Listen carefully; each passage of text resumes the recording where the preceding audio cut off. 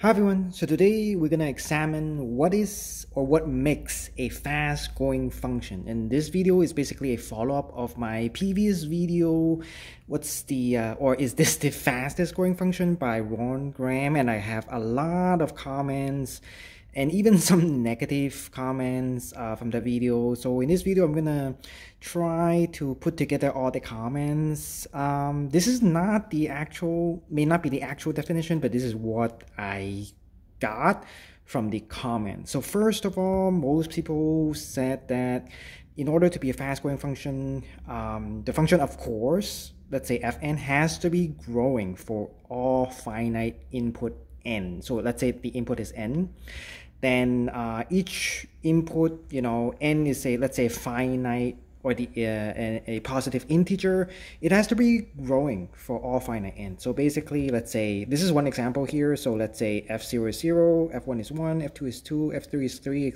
uh, etc.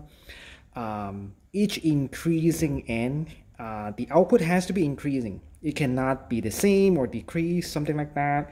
So in other words, um, f0 is smaller than f1 smaller than f2 which is smaller than f3 etc and etc so therefore f of k minus 1 has to be smaller than fk for all finite k. So that's one of the important definition for the fast for a uh, fast growing function.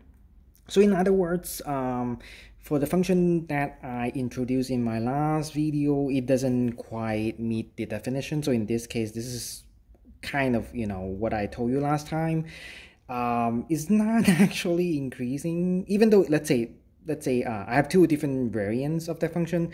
In this case f4 there's no answer. So basically it stops here so it's not increasing. Uh, another variant is you know let's say f4 is infinity and then f or g5 g4 is infinity g5 is infinity g6 is also infinity. In that case is not it's kind of stopped growing because infinity equals infinity in this case so it's not actually growing um, so that's the first reason why this is not a fast growing function or not even a function something like that and then the second point is that for all finite input n the output let's say k uh, has to be finite and cannot be undefined or no answer.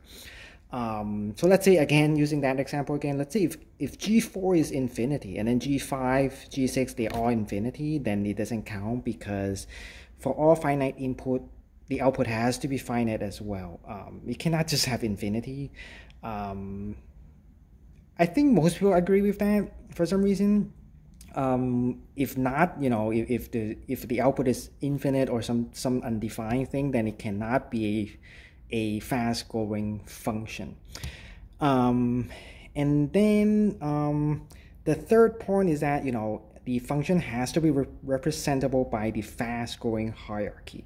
So if it's not representable or you know if it cannot be measured by the fast growing hierarchy, kind of you know um, not satisfying you know is not a fast growing function this is i mean a few people represent i mean um, kind of suggest that but i'm not sure i guess it's debatable because for some functions such as Rayo function or even bcp for some people argue that is not quite representable at least not fully representable or measurable by the fast growing hierarchy especially Rayo's function uh, Rayo's function is actually, you know, there's two groups. One group set is ill-defined, the other group set is well-defined, and actually there's a third group set is just uh, in the gray area, you know, is halfly well-defined, not fully well-defined.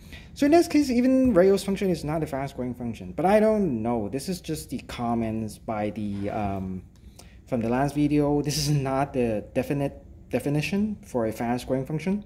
I don't think I can find anything about that in the Googology wiki as well. Uh, and then one last thing is that uh, there's a commenter. He actually uh, suggested uh, another, you know, function, which is not actually a function, you know, by these three points, uh, which has a similar growth rate as this one that I suggest in my last videos. Uh, so he suggests that this function fn uh, what does it mean? Is that uh, it's basically the number of additions needed to reach n itself. And it has to follow this pattern over here or this formula. So fn is basically um, you know 1 plus 1 half plus 1 fourth plus 1 eighth plus 1 16 etc and etc so basically 1 over 2 to the power of n minus 1 this is the pattern um, forever you know. So basically in this case f1 is 1 because in order to reach n in this case is 1 you need just one term which is the first term 1 over here. And then f2 is infinity already um, because you need an infinite number of terms to reach 2 and for F3 actually is undefined on no answer because it doesn't matter because this thing actually converges to um, to the number 2 this series this infinite series.